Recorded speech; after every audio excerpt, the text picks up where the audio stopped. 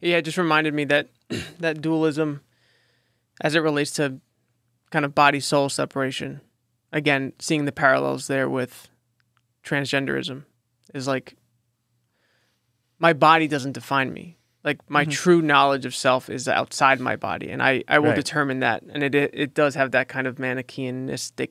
Oh, absolutely. No, that's a really Streak. good point. And that's um I remember yeah, we we talked about this in our um sexual ethics class uh when I was in seminary, but how transgenderism is kind of a form of uh dualism. Mm-hmm. It's like, you know, the the the matter of my body, right? Like Yeah. my body cannot tell me anything about who I am or reality, Right. right?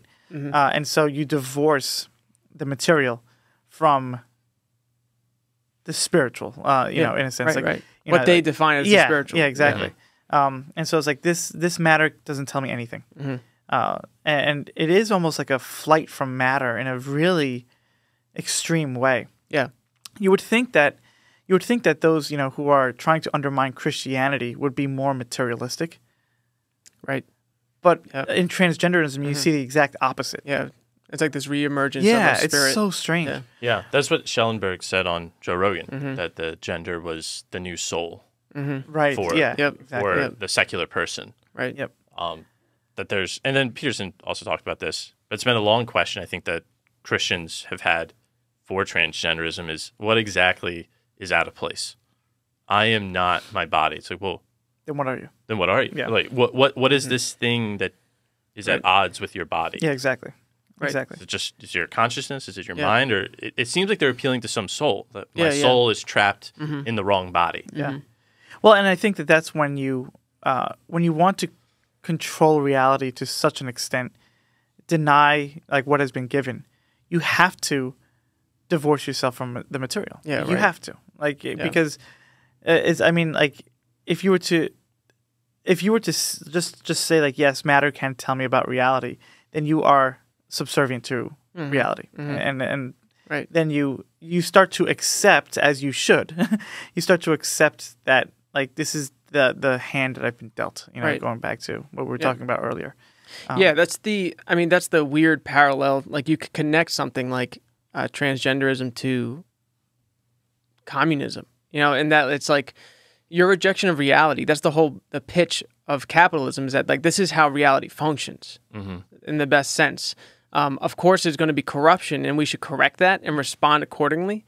But you can't just force its hand into an economic system that you come up with that is completely contrary to how reality works. yeah And so the parallel to transgenderism is like you feel imposed by reality, and you're trying to force its hand to to be different. yeah Um, yeah, it's very it's very weird to be to think about how that is all related because it does seem like this transgender stuff just came out of left field. yeah I mean, no pun, but like, really left yeah, to feel yeah. yeah. I mean, it's um, it's been it's interesting because it has been a topic for a little while. First things, uh, you know, the magazine First Things, they released an article back in 2016 talking about the the metaphysical implications yeah of transgenderism as, as sort of like the last like Mm. neo-gnostic kind of like liberal bastion. The last, the final frontier is liberation from the body yeah Yeah. yeah, it wasn't exactly. just yeah. it wasn't just male and female necessarily. Yep. It does you know they don't necessarily uh, they're not complementary. Yep.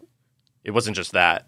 It wasn't just marriage, but it Mhm. was I can transcend my body. wow that's very actually yeah, Yeah. that's fascinating because on, at the same time like while you have this whole transgenderism um, uh, movement you also have like on the tech side of things like things like uh, brain chips Mhm. and like uploading your consciousness and and you know being able to fix any ailment of your body Yep. um you know like elon musk was talking about his neuralink Yep. like you know we can make blind people see you know um someone who's been paralyzed we can Yep. actually rewire their nervous system with this and so it's like it's all about this transcending the body Andrew Klavan just had a guest on talking about her book, I believe. I don't remember her name.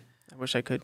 Um, well we have it. laptops Yeah, yeah, I'm gonna find it. But uh, she was talking about like she briefly mentioned like he he didn't talk about this, but she briefly mentioned how that there's a link uh, between uh, kind of what did she say? Like the feminist movement, uh, contraception, and abortion being linked to cyborgs, and like there's a connection there, and that like you know women say like I can be liberated as from my body Yeah. if only I do this. If I take these artificial artificial medications and I do these uh, medical procedures, then I become truly myself, Right. which is un- like like a man, essentially. You know, like rejecting the the female function. Um, and she's like, that's that's that opens the door to this whole cyborg epidemic that's Yeah. going to happen with AI chips and Yeah. all that stuff. Yeah, and that's like I mean, you look at like sci-fi literature, like the best of sci-fi literature is um is all about like yeah, like these cyborgs who like take over the world, and they're like uh like like they're they're like transcendent human beings, right? Like they have humanoid figures, and they're obviously more powerful and enlightened, but they they are always an enemy to mankind, always, Right. Because it's not mankind, like it's not Yeah. human nature. That's that's why they're So- banned in Dune, right? Yes, yeah, yeah, yeah. AI and robots. That's they're- right. They're Mhm. banned um, Yeah. because of this problem. A friend of mine just before we recorded uh, sent me an article from the New York Times uh, about the possibility. There was an author saying that by the end of the year, he hopes to have some sort of way to upload consciousness to some sort of hard uh, or some sort of uh, server. That way, you can keep your loved ones alive essentially after they die. Right. Yeah, so again this uh, uh, this like not only not only people having relationships with AIs now chatbots but now it's they're hoping that we can keep the dead alive yeah. That's crazy. through machines Yeah, and this is um, it's I mean this shows like an innate an innate human desire to overcome death, Mhm. uh, and to yeah, and to live forever. And it's, like, it's the promise of Christianity ultimately, Uh, yeah um, right but in, in a in a um like untethered secular way essentially. Well, right. That's that's what I saw it as is just like a, another impulse or instinct to religion Yeah. being channeled through technology. Yeah. and, and because like you know uh, uh, fundamentally christians do hope to transcend the body. Right. you know, insofar as our bodies are corrupt and they die now right? Right. Um and and that's that's that's what we celebrate at the resurrection of christ on easter is that he has defeated death and now his glorified body is it, it's it's a body that's different in a sense than his old body, but it's the same body, right? And so there is a sense of transcendence and, and, and perfection Yeah. that he has um, brought, Right. and he wishes to give to all mankind.